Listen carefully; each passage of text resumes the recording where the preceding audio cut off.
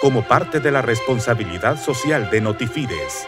A continuación le presentamos un resumen de las noticias nacionales e internacionales más importantes de la semana, presentado por Ana Valladares, intérprete en lenguaje de señas para nuestros hermanos sordos. En Notifides, fomentamos una cultura por la paz.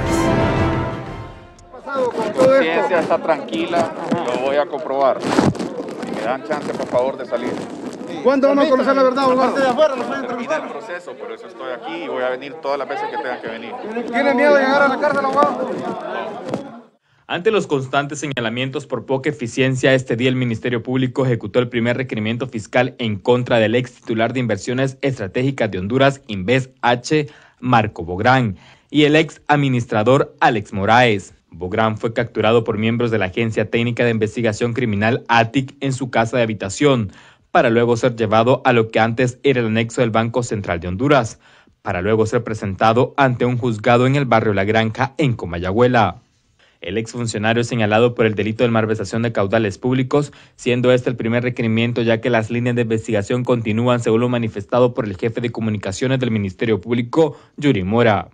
Y esto se basa específicamente en lo que es el artículo 178, numeral 2 del Código Procesal Penal, en donde se hace referencia a la posible obstrucción de la justicia por parte del imputado. Recordemos que solo en Inves hay alrededor de cinco líneas de investigación donde eh, su exdirector, el señor Marco Bográn, es eh, una persona que está siendo investigada. Por este delito, el ex titular de Inves H estaría cumpliendo una pena de cuatro a seis años de ser encontrado culpable, según el análisis jurídico de profesionales del derecho, quienes además cuestionan por qué el caso no es ejecutado por el tribunal competente, en esta ocasión el juzgado en materia de corrupción. Por lo tanto, si una persona en este tipo de delitos se declara culpable y se va por un, sobre, por un procedimiento abreviado, serían tres años y si repara el daño serían dos años, ocho meses más o menos, en donde podría pedir la suspensión de la pena y salir en libertad el día siguiente. Carlos Hernández, como director de la ASJ, espera que las acciones por parte del Ministerio Público sean en favor del pueblo hondureño, quien exige justicia ante las irregularidades en medio de una emergencia sanitaria. Confiamos que el Ministerio Público tenga todos los elementos probatorios, que haya hecho una investigación objetiva, veraz, científica, que eh, permita que se haga justicia. Creo que eh, lo que ha pasado, eh, particularmente con Inves y con las compras que se hicieron, ignorando toda la normativa existente en el país. Miembros de oposición, en este caso del Partido Liberal de Honduras, son del criterio que es muy difícil confiar cuando un Estado ha sido vulnerado en varias ocasiones. Lo que hemos tenido es una red criminal gobernando y el pueblo hondureño muriendo. En los juzgados de materia de lo penal de la granja al finalizar audiencia se determinó lo siguiente día de hoy ha quedado con, han quedado con detención judicial. La defensa de los imputados han solicitado que sean remitidos al primer batallón. Terceras, eh, de no aceptarlos en el primer batallón, van a ser remitidos a la cárcel del Valle de Siria, ubicado en el municipio del Porvenir Francisco Morazán. La audiencia inicial quedó señalada para el próximo jueves 8 a las 9 de la mañana. Dentro de los señalamientos, Marco Bográn es investigado por el caso conocido como hospitales móviles, compra adquirida bajo su administración al Estado de Turquía, de los cuales solo dos de siete han llegado al territorio nacional. De igual manera, la compra millonaria de mascarillas y equipos médicos a la empresa GIT dirigida por la actual diputada del Partido Nacional, Valesca Zelaya y su esposo. Sin olvidar la inversión de alrededor de 33 millones de lempiras de rayos X, lo que estarían llegando el próximo año al territorio nacional lo que se esperaba que sería para aliviar el padecimiento de cientos de hondureños que continúan enfrentando la lucha ante el nuevo coronavirus. El exfuncionario recién llamado a declarar ante la Fiscalía correspondiente del Ministerio Público dejó en claro que es inocente y que comprende la molestia de la sociedad. De que no ha habido asistencia médica, yo lo comprendo. Déjenlo hablar. ¿Por qué? Déjenlo hablar. Sí, sí. Déjenlo hablar. Entonces, tienen que buscar a un culpable, me han escogido a mí. Marco Bográn renunció a su cargo ante los constantes y numerosos señalamientos por supuestas compras irregulares el pasado 27 de junio. De igual manera, el Ministerio Público no descarta más requerimientos fiscales en los próximos días ante el mal manejo de fondos del Estado por la emergencia ante el COVID-19. Desde Suyapa Medios y Notifides le invitamos a erradicar juntos el coronavirus. Con imágenes de Aníbal Recarte les informó Josué Varela. Luego del mensaje girado por el mandatario guatemalteco, el Instituto Nacional de Migración ha señalado en las últimas horas que el 95% de los hondureños que habían emprendido la ruta migratoria han sido retornados al país de manera involuntaria, por lo que se mantienen las medidas de seguridad en las fronteras entre Honduras y Guatemala, según lo manifestado por el portavoz Lisandro Vallecillo. Han retornado al país más de 1.300 eh, connacionales que salieron con destino hacia los Estados Unidos el eh, jueves primero de octubre. Miembros de la Pastoral de Movilidad Humana en Honduras consideran que este tipo de mensajes ponen en duda los pactos firmados entre naciones del Triángulo Norte, por lo que se pone en duda discursos de mandatarios. Discursos como esos que escuchamos, incluso actitudes, nos hace con que las personas que están en camino pues sean cada vez más eh, sujetos de discriminación y, y de xenofobia. Como un fenómeno latente es considerado el flujo migratorio mismo que ha tomado mayor fuerza ante los escenarios de calamidad que imperan en la región hondureña ante las consecuencias y efectos por la emergencia sanitaria. La pobreza y la violencia. Estos factores son determinantes para que la población huya. Sin embargo, estos factores no son atendidos porque eh, Honduras no cuenta con verdaderas políticas integrales de protección a las y los hondureños.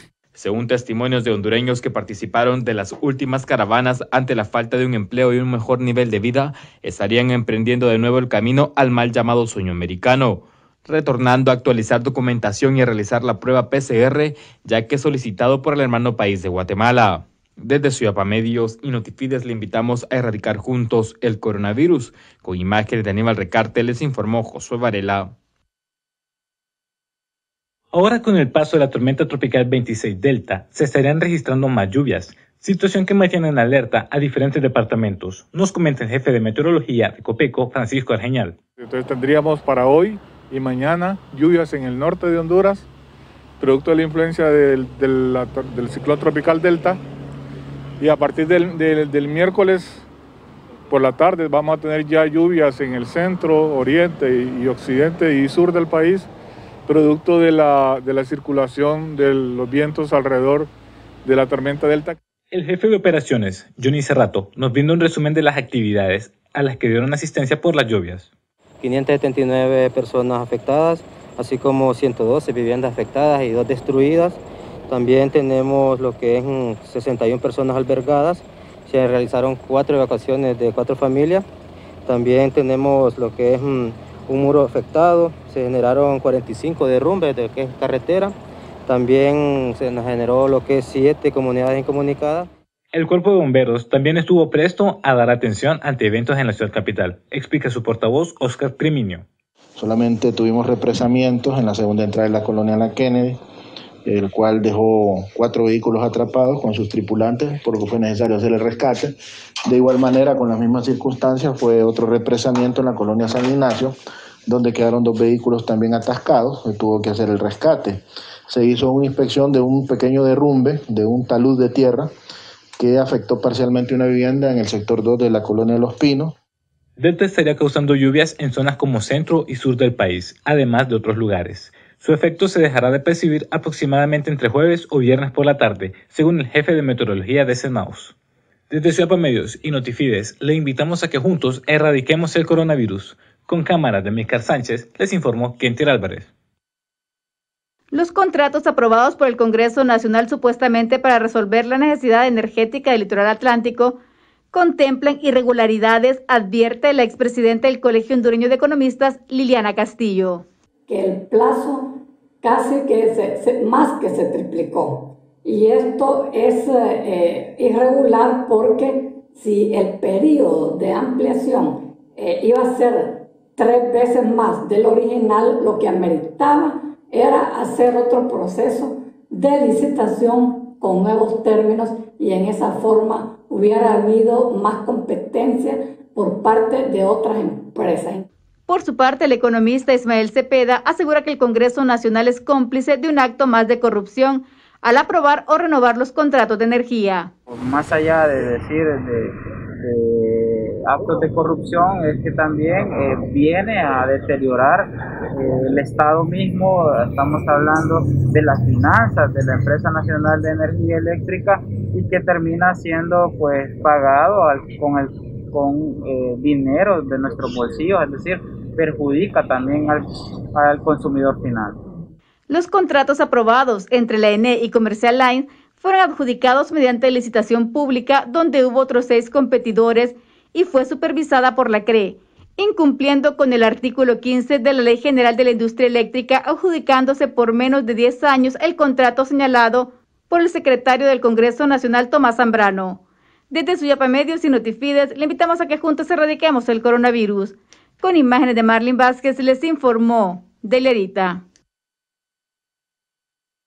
Olancho es uno de los departamentos del país donde mayor tasa de letalidad por COVID-19 se ha registrado. Ante este acontecimiento, la doctora Roxana Díaz, miembro del Sistema Nacional de Gestión de Riesgos, SINAGER, dio a conocer que se investigarán los fallecimientos reportados en la zona bajo sospecha de esta enfermedad. Debido al incremento de la, mortalidad de la zona, pues se conformó una misión especial en la cual se van a investigar eh, todas estas muertes registradas. De igual forma, verificar que todas estas muertes tengan pruebas de PCR, eh, ya sea tomadas durante esta persona recibió atención médica o de forma post-mortem.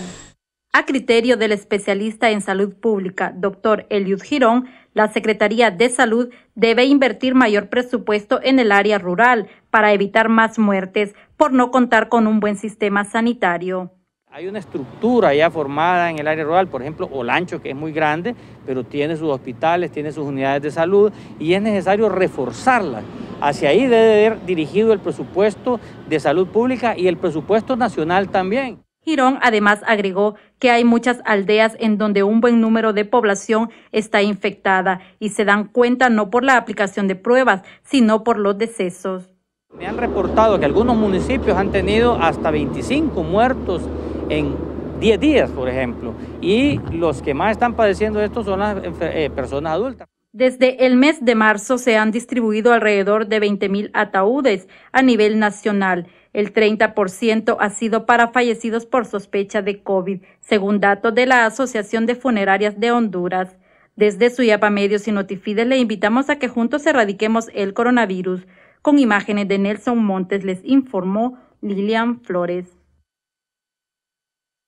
En medio de la emergencia sanitaria por el nuevo coronavirus continúa en repunte los escenarios violentos contra las mujeres, dejando más de 300 víctimas según el reporte por parte de la Secretaría de Seguridad, quienes además señalan que existe una reducción significativa en comparación al año anterior, según lo señalado por la portavoz Dania Cruz. Más de 300 mujeres que han perdido la vida de forma violenta, pero es por ello que se hace un llamado en general para que ellas mismas pongan las denuncias, porque solo así se puede efectuar un proceso correspondiente a ley. Por otra parte, la Oficina de Comunicaciones del Ministerio Público ha manifestado que existen más de 2.000 denuncias interpuestas en los 10 meses que avanzan del presente año.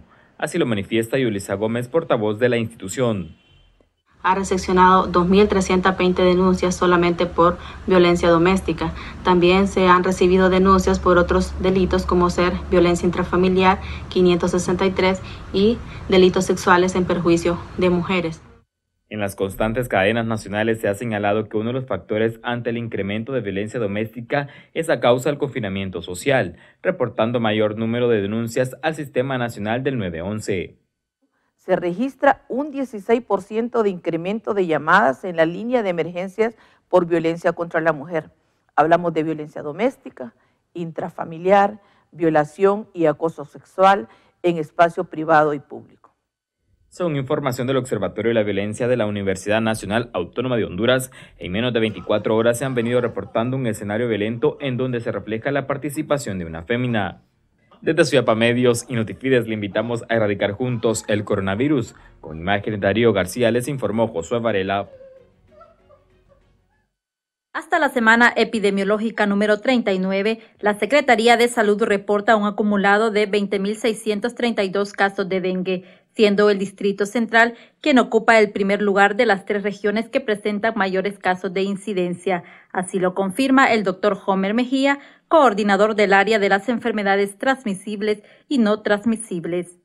El municipio del Distrito Central ocupa el primer lugar, que es eh, la región metro en la capital, luego la región del Paraíso, que ocupa el segundo lugar, y tenemos en un tercer lugar la región metropolitana de San Pedro Sula. Debido al incremento de casos que se registran entre las últimas dos semanas, la capital está en alerta por esta enfermedad, apuntó el jefe de la región metropolitana, Harry Book. Observamos que en los dengue no graves aumentó un 26%, o sea, 58 casos más. Y el dengue grave aumentó un 18%, dos casos más. Por lo tanto, actualmente en la semana 41 podemos decir que en el canal endémico la capital ya está nuevamente en epidemia de dengue grave como dengue no grave y tenemos hasta la fecha 13 fallecidos por dengue, sospecha de dengue, de los cuales 5 han sido confirmados por PCR y pendiente el resto. En su mayoría, estos pacientes son menores de 15 años. Algunos de ellos han sido atendidos en el principal centro asistencial del país. Juliet Chavarría comparte las cifras. Hasta este momento tenemos 1.197 casos de dengue, que estos se han atendido desde enero a la fecha, teniendo siempre una mayor incidencia a la población infantil. Estamos hablando de un representando en un 80% el total de los casos y el resto son personas adultas. El Distrito Central registra un total de 6.517 casos de esta mortal enfermedad de los cuales 6.294 corresponden a pacientes con diagnóstico de dengue no grave y un total de 223 con dengue grave. Desde Suyapa Medios y Notifides, la invitamos a que juntos erradiquemos el coronavirus. Con imágenes de Nelson Montes les informó Lilian Flores. A más de seis meses de la emergencia nacional, el rubro de la construcción y el transporte público han sufrido grandes consecuencias, dejando pérdidas significativas lo que para economistas estos dos rubros son de gran importancia en la economía hondureña.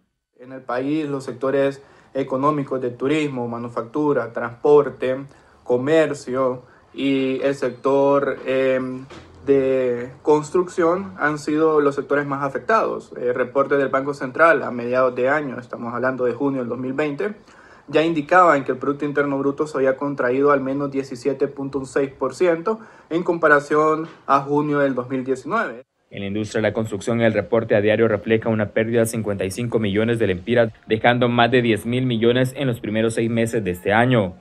De igual manera, 125 mil empleos perdidos, según información generada por miembros de la Cámara de la Industria y la Construcción. No tenemos una mesa de construcción reactivada, hemos estado insistiendo hasta el cansancio a las autoridades a través de los distintos medios de comunicación, mediante notas, etcétera, es importante tener este, esta mesa porque hay puntos cruciales los cuales tenemos que abordar. De igual manera, en el sector transporte se están reportando pérdidas entre 7 y 9 millones de lempiras a diario. Esto a pesar de una reapertura en las principales ciudades del territorio nacional, según lo señalado por el empresario Jorge Lanza.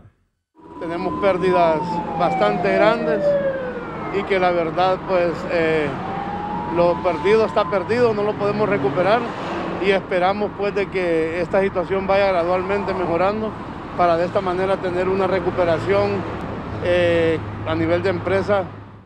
Ante estos escenarios, expertos en el ámbito económico han señalado que se necesitan medidas agresivas que sean incluyentes, ya que hasta el momento solo se reportan acciones parciales que no han contribuido en economía nacional. Desde Suyapa Medios y Notifides le invitamos a erradicar juntos el coronavirus. Con imágenes de Darío García les informó Josué Varela.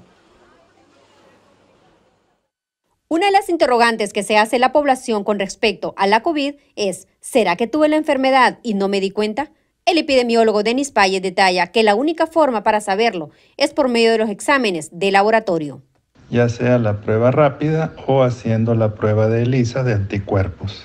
Al igual, el epidemiólogo detalla que si la persona tuvo algunos síntomas que se asemejan a la enfermedad y mantuvo contacto con pacientes positivos, las probabilidades que padeció la enfermedad son mayores. Por su parte, la doctora Suyapa Sosa, neumóloga del Hospital de Tórax, reitera de la importancia de diagnosticar a los portadores asintomáticos. Porque al diagnosticar nosotros los portadores asintomáticos podemos desacelerar la curva de esta enfermedad haciendo diagnósticos y autoaislando el infectólogo Efraín Bu igual señala que por estos pacientes que no se dieron cuenta que tuvieron el virus es que hoy contamos con gran cantidad de contagios y aumentarán según se vaya abriendo más la economía. También paulatinamente más gente se está exponiendo en el día a día y máxime en, en nuestra población que no sigue cabalmente las medidas de prevención. No olvidemos los síntomas de esta enfermedad dolor de garganta, de cabeza, pérdida del gusto, moqueo nasal, vómitos, diarrea, escalofríos, dolor de pecho y si los presenta, busque atención médica o aíslese por su bien y la de su familia. Desde Suepa Medios y Notifides le invitamos a que juntos erradiquemos el coronavirus. Les informó Janet Lagos. La sesión legislativa de este día inició con el respaldo de los diputados de las diferentes bancadas que se mostraron anuentes para aprobar una ley que dé garantías a los ciudadanos de un proceso democrático.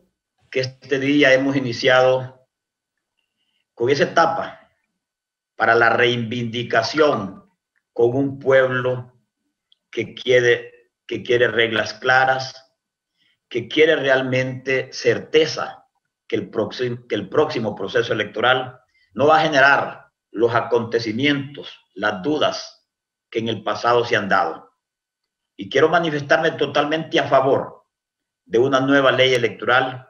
El diputado Tomás Ramírez del Partido Unidad de Innovación lamentó que esta ley beneficie solo a algunos partidos.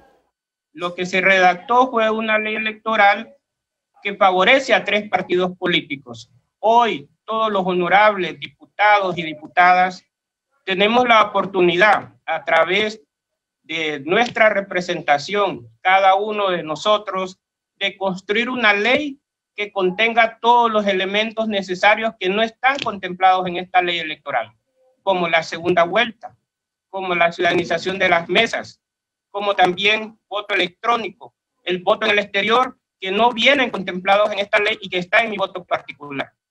Del artículo 12 al 17 también crearon controversia y fueron suspendidos donde establece la integración del Consejo sobre consejeros y propietarios y suplentes, habría que suspenderlos por varias razones, presidente. El 12, en el 12 establece que únicamente con dos propietarios pudieran realizar un pleno y, y eso, es, eso es contra la misma constitución porque este Congreso elige dos suplentes. Eso significa, si faltan dos propietarios, tienen que integrar dos suplentes. Entonces, desde ahí tenemos que discutirlo ampliamente. Esta acción generó suspicacias entre algunos diputados. El exceso de suspensión de artículos a mí me parece sospechoso. A mí me parece que hay una mala intención y se lo digo con todo respeto y me veo en la obligación de decirlo porque entonces cuando vengan los artículos los artículos más álgidos, los artículos que mayor conflicto tuvieron antes de la firma de esos acuerdos, pues seguramente vamos a volver a entrar a ese bache de, bloquear la aprobación de esta nueva ley electoral. Tan solo 10 de 24 artículos que se discutieron hoy en la sesión fueron aprobados. Todavía hay temas en los que los congresistas no se ponen de acuerdo y esto está impidiendo el avance de su aprobación. Desde Ciudad Medios y Notifides, le invitamos a que juntos erradiquemos el coronavirus. Les informó Delerita. Luego que el Ministerio Público diera a conocer la existencia de 22 líneas de investigación en casos por compras sobrevaloradas en la pandemia, abogados penalistas creen que el Código Penal vigente se vuelve más humanista en comparación con el cuerpo jurídico anterior. Más apegada a recuperar en realidad lo que es eh, lo defraudado, ¿verdad? los actos de corrupción se castigan de otra manera. En perseguir en realidad lo que son los dineros perdidos. El código anterior no, el código anterior era más directo y le, a usted lo buscaba sancionar entre 200, 300, hasta mil años. Para el profesional del derecho Leonel Núñez, el código penal vigente es un arma de doble filo, más cuando existe una reincidencia en flaquelos en perjuicio contra el Estado de Honduras. El código penal que entró en vigencia beneficia cuando es primera vez. Cuando hay reincidencia, sí se vuelve bastante duro.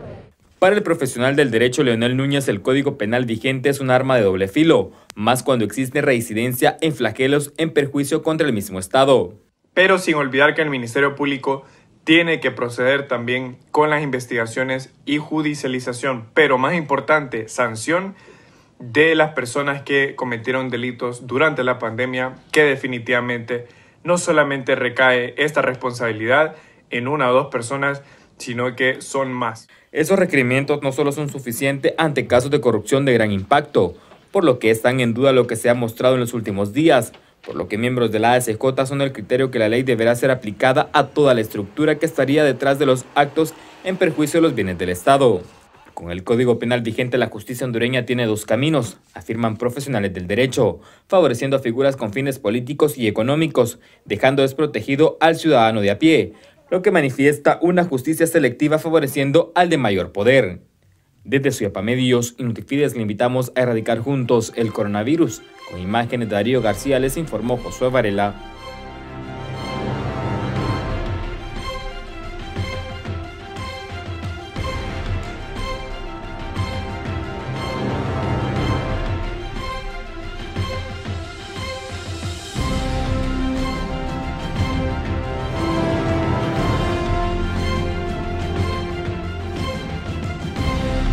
Gracias por habernos acompañado en este resumen de las noticias nacionales e internacionales más importantes de la semana, presentado por Ana Valladares, intérprete en lenguaje de señas para nuestros hermanos sordos.